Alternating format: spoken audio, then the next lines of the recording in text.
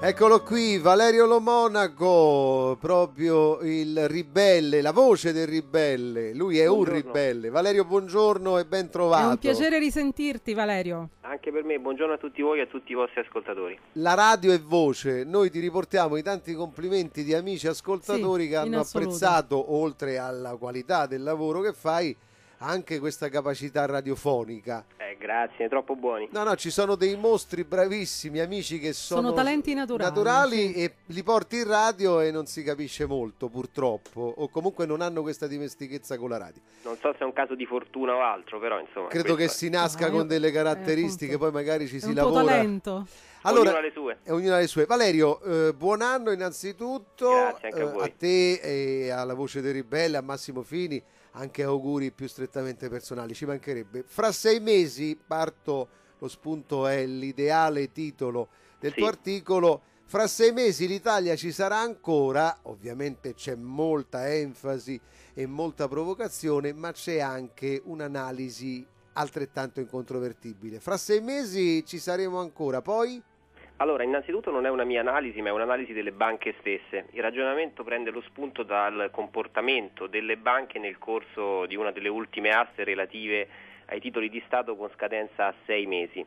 Come abbiamo visto, chi se lo ricorderà, i tassi sono letteralmente dimezzati, cioè gli interessi che il nostro Stato dovrà pagare sui, tassi, sui titoli di Stato piazzati con scadenza a sei mesi sono dimezzati rispetto a quelli di un mese prima.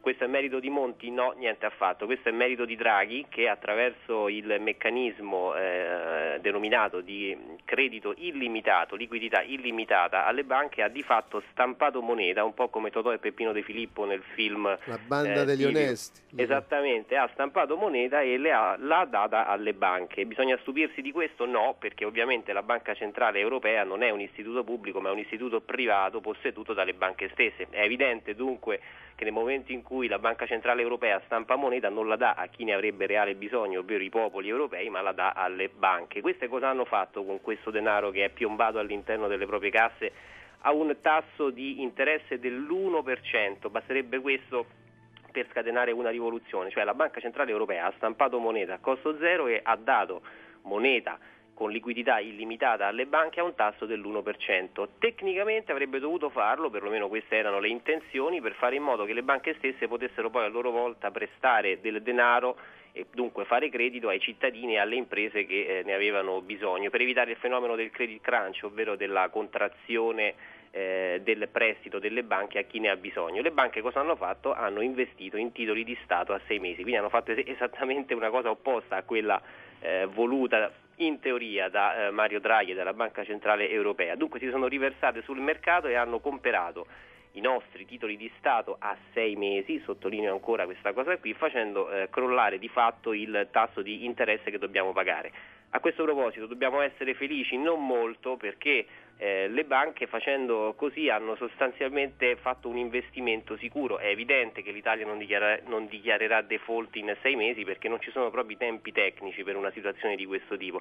Pertanto quale investimento più sicuro che quello di ricevere denaro? Pagandolo a un tasso di interesse all'1% e acquistare dei titoli di Stato che in sei mesi in modo sicuro renderanno il 3,5%. Ecco, è una dinamica tutta interna delle banche che spiega il fenomeno, non era una mia analisi.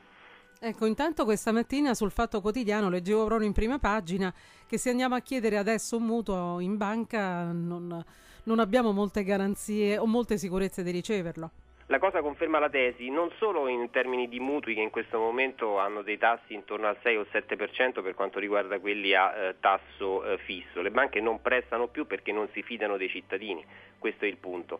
Ma eh, il fatto è che recentemente è stato alzato ulteriormente il tasso di interesse che le banche possono applicare a eh, chi chiede loro denaro senza entrare nel campo dell'usura. Parliamo di tassi che attualmente si aggirano intorno al 17-18%. Ora se non è da considerare usura un tasso di interesse del 17-18%, io francamente non so più che cosa può considerarsi usura. Malgrado questo, ovvero malgrado il fatto che le banche possano avere denaro dalla Banca Centrale Europea pagandolo solo l'1% e possano per legge prestarlo fino a dei tassi del 17-18% oppure per dei mutui, come abbiamo detto, intorno al 7-8%, queste non lo fanno, non si fidano dei cittadini e preferiscono investire in titoli di Stato a sei mesi Ben inteso, quelli a 10 anni sono rimasti e rimangono tuttora attorno al 7%. Cosa significa questo per tornare al mio articolo?